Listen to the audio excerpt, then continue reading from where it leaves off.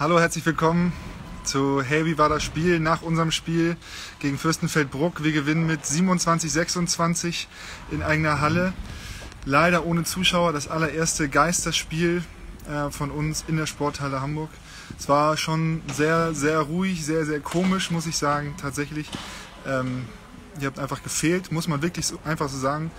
Ähm, ich, aber wir haben gewonnen und das ist das, das Wichtigste. Es war ein hart umkämpfter Sieg, aber darüber möchte ich jetzt sprechen mit ähm, Live Tissier und äh, Jan Kleinerdam. Und ich hoffe, die beiden haben mir schon mal was eine Frage gestellt. Wenn ihr Fragen habt an die beiden zum Spiel, dann stellt die gerne hier rein. Bin gespannt. Jetzt muss Jan nur noch eine Anfrage senden. Ich kann sie ihm selber senden. Mal schauen. Weil ich sehe die beiden von hier tatsächlich. Aber er kommt nicht rein. Ah! Hallo ihr beiden. Guten Abend. Uh. Grüß euch. Warte, ich kann vielleicht mal zeigen, wo ihr seid. Da unten seid ihr. Hallo. Hallo. Ja, winkt doch mal richtig, bitte. Hallo. Gut. Ja. Haben wir? Haben wir. Schön, war witzig. Äh, wie geht's euch nach dem Spiel? Ähm, war ja doch sehr, sehr spannend. Ganz am Anfang sah es so aus, ähm, sah eher nicht so gut aus, aber dann seid ihr zur Halbzeit wieder gut rangekommen. Ähm, es stand, glaube ich, äh, 10 zu 6 für Fürstenfeldbruck und ihr seid dann auf 14 zu 12 zur Halbzeit rausgegangen. Ähm, wie kann man das am Anfang beschreiben? Wieso lief das so gut, sage ich jetzt mal? Der Anfang. Der Anfang. Was denn? Hört ihr mich? Der Anfang? Ja, der Anfang, genau. Äh, ja, ich glaube, ich glaub, wir waren uns bewusst, dass wir gegen eine 3-3-Abwehr äh, viel zu arbeiten haben, ähm, haben dann aber nicht die Laufarbeit geleistet, die wir im Training uns vorgenommen haben und dann noch dazu die Freien verworfen und ich glaube, dann wird es natürlich schwer gegen so eine Abwehr. Ähm, dafür sind sie dann auch äh, zwei Ligamannschaft, die gut genug ist, dann dies auszunutzen und ja, dann wird es immer schwer. Hier, der Renato Sanchez des Handballs kommt hier. Ja, das finde ich sehr schön. Wer denn von beiden? Clay oder oder live. Kuss. Ja. Sehr schön. Ähm, dann, dann seid ihr aber äh, wieder, habt ihr das Spiel ganz gut wieder reinbekommen und am Ende sind sie wieder, wieder rangekommen und dann hat Forsti unter anderem äh, ein paar Dinge reingeknallt. Ich habe hier auch Statistiken ähm, einmal zusammengebaut. Vielleicht könnt ihr das sehen. Live bester Torschütze mit sieben Toren ähm, und Dominik Axmann mit fünf von fünf der treffsicherste. Ähm, was war seine Rolle da heute? Ja, also Mitte der ersten Halbzeit hatten wir eine nicht so starke Phase, würde ich behaupten. Ich glaube, da steht 6 zu 10 oder so.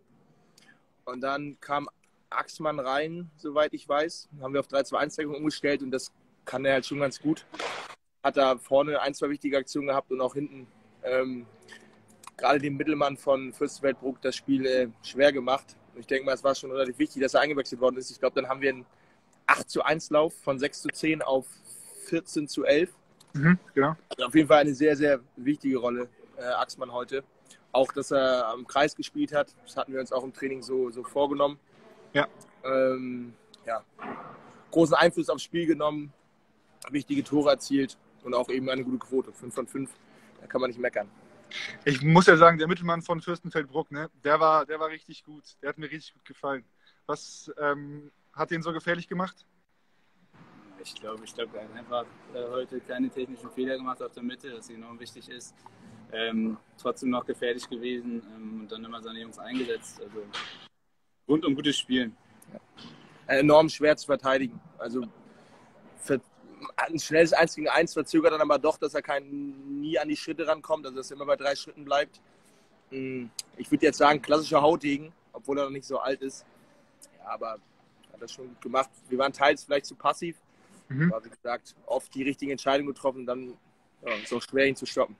Ja, und Jonas hat heute wieder gar nicht ähm, so eine überragende Quote wie beim letzten Mal, trotzdem 25 Prozent und hat halt wichtige Dinger gehalten gefühlt. Ne? Ja. Ja, würde ich so zustimmen. Viele, also waren wenige Rückraumwürfe dabei. Das heißt, er musste auch oft ähm, also die Außen hatten oft einen relativ guten Winkel, also hat er da auch schwere Bälle weggenommen, auch in wichtigen Momenten. Ja, können wir froh sein, dass er da hinten drin war. Coco noch ja. einen wichtigen weggenommen, wichtigen sieben Meter. Ja, auf jeden Fall. Ja, wie geht's jetzt weiter für euch? Das nächste Spiel kommt ja eigentlich schon wieder relativ schnell. Ne? Ihr habt jetzt ja acht Spiele im Dezember. Ähm, das ist ja, ja schon ein Brett eigentlich, oder? Ja, ist knackig. Ist knackig, Ist knackig. Aber ich glaube, wir haben jetzt, ich meine, wir haben morgen, morgen frei ähm, und dann haben wir uns noch paar Tage noch, um unser Schwarte vorzubereiten. Ähm, kennen wir, glaube ich, ganz gut noch aus der Vorbereitung. Und ähm, Was macht ihr an so einem freien Tag? Was passiert bei euch? wie was passiert bei uns? Wann? Ja, morgen am freien Tag. Was macht ihr da? Oh ja, du stellst Fragen. Ich jetzt fragen. Äh, Ja, bleib, live muss ich erstmal holen. ja, ein, zwei- auch. Ich, ich natürlich auch. Meine Stimme muss ich ein bisschen erholen vom ganzen Schreien. Ja, weiß nicht. Ja, Ich habe das heute zum allerersten Mal gehört. Du, du machst da ja richtig Stimmung da unten. Du machst ja richtig Radau, muss man ja Ja. sagen. Dafür haben wir ihn. Ja. Meine Mutti sagt immer, ich bin die Jubelmaus. Nein, sagt sie nicht. Ähm, Ich sag das. ja, live und ich spielen morgen eine Runde Boccia zusammen wahrscheinlich. Online, online. Und dann mal gucken. Freitag wieder ins Training. Und dann kommt das Derby auch. Da haben wir auch alle Bock drauf. Wenn man euch jetzt bei PSN adden möchte, ne? Wie heißt ihr da? Äh, wie ist denn dein Name? Wie, wie wichtig ist Janiks Name? Ja, wie ist dein Name? Ah. Drück mal. Ich habe es gerade vergessen. Es tut mir leid.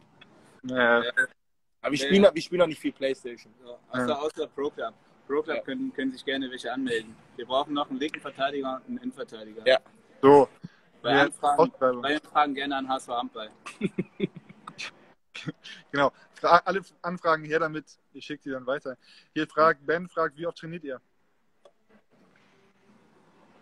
Also in der Regelwoche, wenn wir samstags spielen, sieben bis acht Mal.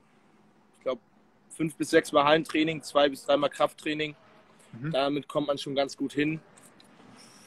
Ja, Sag mal, sag ganz kurz. Ähm, die Jungs von Fürstenfeldbruck sind heute um 9 Uhr losgefahren. Heute um 9 Uhr mit der Bahn. Ähm, ihr habt das jetzt ja auch oder schon ein paar Mal gemacht. Das ist schon und trotzdem hier so eine Leistung gebracht. Ich, ich finde das ähm, ganz krass eigentlich, weil es steckt doch schon in den Beinen, oder? Äh, definitiv, aber ich glaube, ähm, sie hatten ja immerhin die Anfahrt mit der Bahn. Ähm, Bahn ist immer ein bisschen angenehmer als mit dem Bus, weil du da ein bisschen mehr Freiraum hast ähm, und es schneller geht, definitiv. Nichtsdestotrotz, ähm, ich meine, wir hatten das auch gegen Großwaldstadt, meine ich, dass wir eine Tagestour gemacht haben und die sind schon, sind schon knackig, muss man sagen, wenn du dann nicht im Hotel bist und dich äh, top vorbereiten kannst. Aber hat ja auch bei uns geklappt. aber es kann manchmal auch nicht schlecht sein. Also wir haben das in Großwallstadt ja auch erlebt. Ähm, Fürstenfeldbruck hat halt auch wichtige Ausfälle. Der Mhm.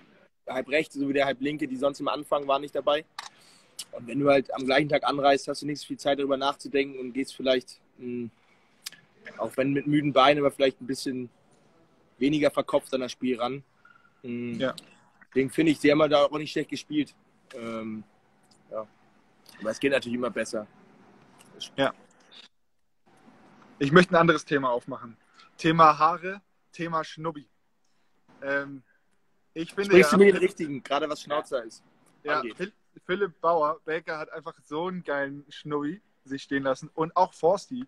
Unglaublich, mit seinen neuen Haaren hier zurückgekehrt und so. Ich bin Fan. Was sagt ihr dazu? Du doch auch. Du doch auch.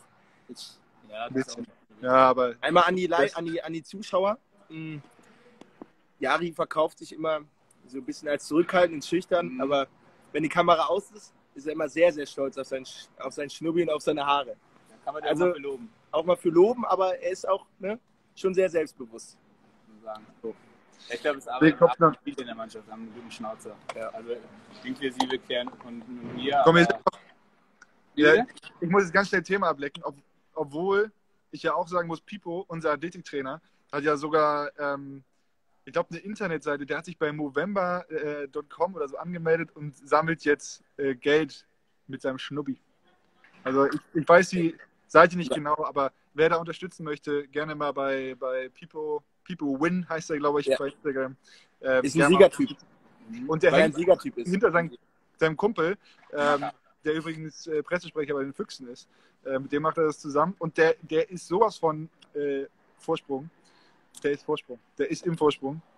Super. Pipo hängt zurück. Also Leute, supported Pipo. Ähm. Jetzt bin ich. Nicht Ja. Glückwunsch zum Sieg. Weil ich habe hier noch, wie viele seid ihr in der Tabelle? Boah, das weiß ich gerade gar nicht so genau. Wisst ihr jetzt, wie viel da in Wir, der guck, Tabelle sind? wir gucken nicht auf die Tabelle, immer nur aufs nächste Spiel. So nämlich. Macht man das, macht man das wirklich? Ja, also wenn ich, ich würde sagen, ja. Weil wir die letzten Jahre immer eigentlich das Ziel hatten, besser als im letzten Jahr zu sein und irgendwie bringt es auch nichts, sich mit der äh, Tabelle zu beschäftigen. Ist halt eine Floskel, aber du kannst dich freuen, über den Tabellenplatz freuen, wie du willst. Wenn du dann drei Spiele am Stück verlierst, bist du da auf jeden Fall nicht mehr da, wo du vorher warst. Ja. Deswegen, ja. ja, aber ist ja so. Ja, ist richtig. Ist richtig. Ja, Ist richtig. das ist gut. Ja. Hier fragt gerade jemand, wo ist Jonas? Ich weiß gerade nicht, ob Jonas Gertges oder Jonas Meyer gemeint ist. Äh, Sowohl als auch. Ich hoffe, ich hoffe für, für Jonas alias Felge, dass er duschen ist. Ja. Eins. was soll er sonst machen? naja, ist ja auch gut. Ähm, habt ihr noch was Wichtiges, was ihr hier loswerden wollt? Maya. Ja, Ist auch Maya. duschen. Hoffentlich. Ist auch duschen. Aus. Auch duschen. Ne? Richten wir aus. Ja, richten wir aus. Sehr gut. Äh, ja, Jungs, dann wünsche ich euch Mit jetzt noch Umarmung. einen schönen Abend. Ne? Wir sehen uns ja gleich. Ich winke euch nochmal kurz. Ja. Warte. Muss hier. Das ist klasse. Das, was die Technik alles so kann, das ist ja Meine Herren. eine Herren. Jetzt muss ich hier nur wieder zurückkommen. So, wow. Okay, Jungs, vielen Dank für das Gespräch. Ebenfalls. Und, ähm, Grüße raus. Grüße am Schönen Abend. 51. Ja. Ciao, ciao. Schöne Grüße übers hier. Ciao. Grüße an die So, kurz weggedrückt. Tschüss. Ähm, cool, dass ihr zugeguckt habt. Ähm, und ja, ich bin sehr, sehr froh, dass wir dieses Spiel gewonnen haben. Sehr, sehr knapp. Übrigens hat Live das, das letzte Tor gemacht. Ähm, ist mir gerade eingefallen. Ähm, mal wieder. Überragend. Ähm, ja, vielen Dank, dass ihr eingeschaltet habt und macht's gut. Wir sehen uns. Tschüss.